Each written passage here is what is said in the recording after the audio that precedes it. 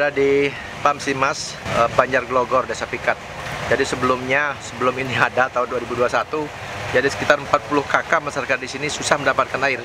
Gitu kan? Nah sekarang Astongkara, jadi dengan Pamsimas ini masyarakat 40 kakak itu sudah mendapatkan air dan saya buka-buka tadi ya. Makanya ini sebenarnya bukan jadwal kunjungan saya ke sini, tapi saya sengaja ngelingkung gitu kan untuk meyakinkan hidup nggak bantuan dari pemerintah dan partisipasi dari desa kemarin ternyata masih hidup dan bermanfaat sekali ya. Terima kasih.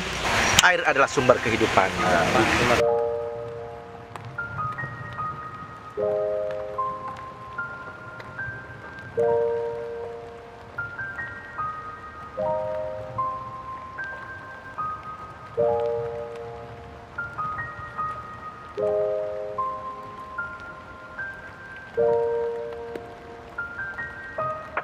Eh, baik pada hari ini ini merupakan acara evaluasi bedah desa yang pertama kami eh, di Kabupaten Kelungkung itu khususnya kita mulai dari desa Pikat. Jadi evaluasi bedah desa ini namanya evaluasi ya. Kita mengevaluasi bedah desa yang dulu tahun 2016 ya. Kita lakukan jadi apa-apa yang sudah apa-apa yang belum. Tentu tadi catatan sudah kita kasih. Jadi ada Astongkaru tahun ini ada penanganan jalan ya sekitar 7 miliar di sini kan kemudian itu dari PKK Provinsi Bali, kemudian eh, eh, ru- bedah rumah, lihat rumah hampir hampir semuanya sudah. Eh, kemudian eh, beberapa tanah yang dimohonkan oleh desa kita segera akan lokasikan. Nah, yang paling penting adalah pada hari ini kita juga fokus ya ada program nasional, bukan program nasional sih untuk generasi kita yang lebih baik itu penanganan stunting. Nah, jadi hari ini eh, di ini cuma Astongkara tidak begitu banyak kan, ada lima. Jadi eh, eh, dari stunting ini tentu kalau anak kita nih eh, sih kelihatan sehat ya kan, cuma tangannya masih kecil karena katanya ibunya yang yang kecil. Tapi ini masuk kategori stunting.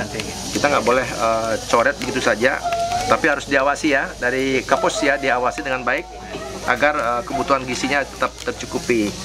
Nah tentu model-model makanan tambahan eh, terutama protein hewani ya hewani itu yang dianjurkan bukan biskuit.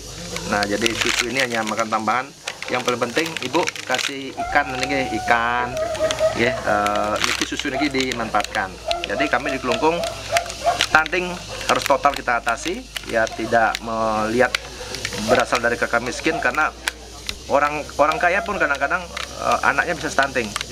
Ya karena eh, mungkin eh, proses awalnya itu gimana kadang-kadang nggak mau makan juga kan itu menyebabkan dia stunting. Nah mudah-mudahan dengan turun ini saya lebih mengingatkan agar stunting tidak boleh ada yang terlewati. Jadi semuanya harus ditangani.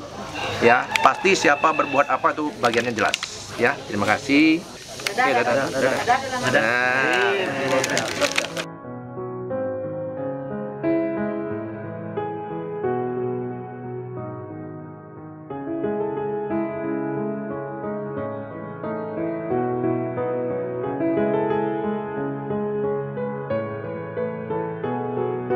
Ya, jadi eh, hari ini saya lanjutkan evaluasi bedah desa. Terutama tadi kita lihat stunting, jadi penanganannya kita berharap secara permanen bisa ditangani, tidak lagi kita bicara nanya dapat atau tidak kan. Nah, termasuk hari ini eh, ada warga yang sebatang kara ya menempati rumah bedah rumah ini ini prosesnya juga berliku-liku nih. Rumah ini milik orang lain, kemudian masih masih keluarganya tapi ditinggal dan ditempati oleh beliau.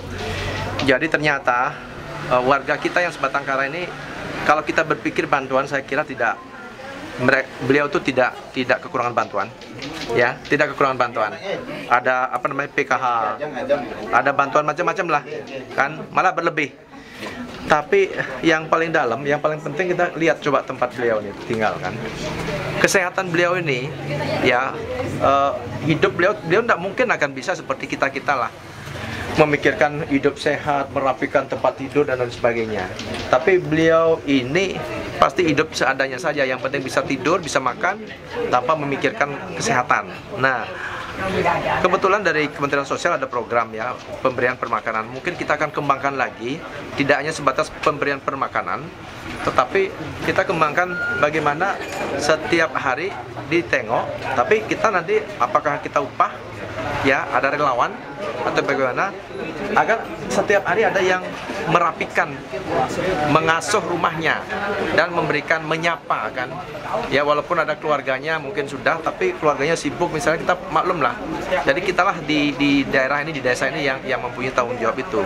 Jadi seperti ini misalnya kan rumah beliau ini numpuk-numpuk banyak kan? Ini apa? Ini ada, ada jijik juga nih ada jijik kan? Ya gitu. Walaupun saya kira urusan bantuan makanan beras itu nggak kekurangan. Tapi yang paling penting bagaimana biar tempat beliau ini layak ya. Layak sehingga mereka itu bisa lebih sehat dan umurnya bisa lebih panjang. Ya saya kira itu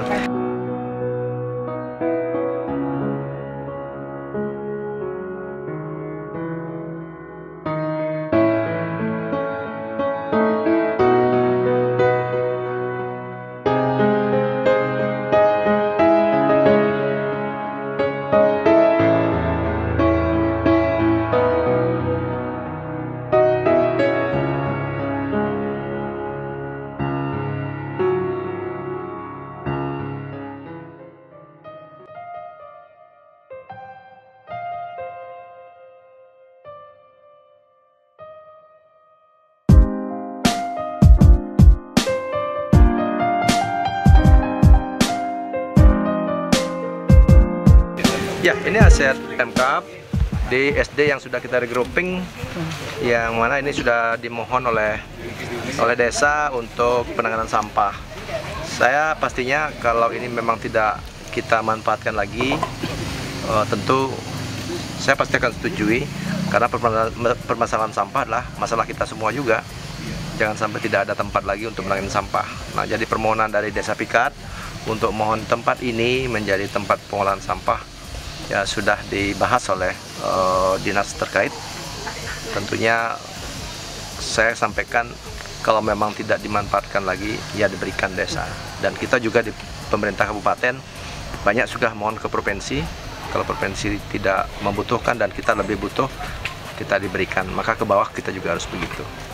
Kalau sudah berjalan dari usulan prehab rumah bedah rumah sudah semua kan kemudian yang uh, apa namanya uh, kesehatan pendidikan itu sudah cuma ada beberapa penyangkar yang begitu dan uh, puskesmas sudah selesai dan sebagian besar sudah selesai lah. Cuma ada ruas-ruas jalan yang yang mungkin tidak menjadi prioritas itu itu belum. Tapi uh, saya turun ini juga ada hal-hal baru yang saya lihat yang dulu tidak pernah saya kunjungi. Ya termasuk termasuk kakak miskin tadi kan. Ya di mana susahnya desa kadang-kadang melakukan inventarisir sesuai dengan usulan-usulan yang baku ya. Mengacu usulan yang baku sehingga kalau pikirannya tetap baku seperti itu maka tidak akan pernah ada jalan keluar.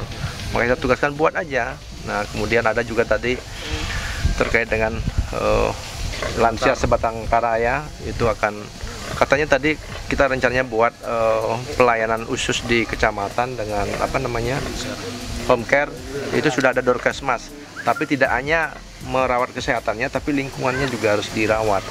Misalnya ganti spraynya kan? Kan kemudian uh, bantalnya lingkungannya tuh karena lansia yang sebatang kara tuh rata-rata lingkungannya yang jorok. Ya lingkungan yang jorok kalau makan lebih dari cukup.